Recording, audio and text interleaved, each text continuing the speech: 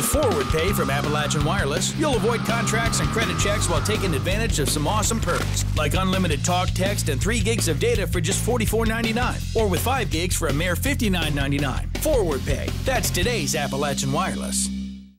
Mingo and Pike counties are rich in heritage, especially when it comes to the Hatfield and McCoy feud and coal mining.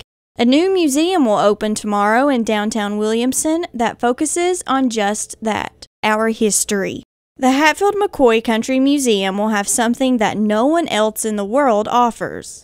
One of the great things and one of the things I was really trying to do with this museum is provide some one of a kind artifacts that you can't find anywhere else in the world. So if you're interested in this history, you have to come here to our area to learn about it and see these things. Almost all of the artifacts on display are from right here in the region and will have items from both Mingo and Pike counties.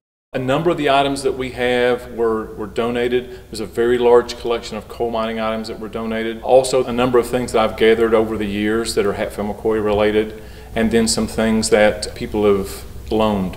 The Hatfield McCoy Country Museum is located in the former Williamson High School building, which now houses the Ambassador Christian Academy. The museum will have several different rooms to explore.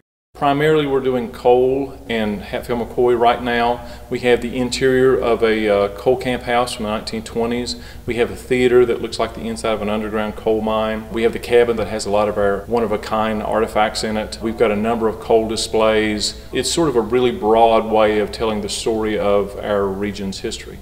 The Hatfield McCoy Country Museum will host a grand opening tomorrow at 2 p.m. After that, the museum will be open Wednesday through Saturday from 9 a.m. to 5 p.m. with an admission fee. Reporting in Williamson for EKB News, I'm Shelby Still.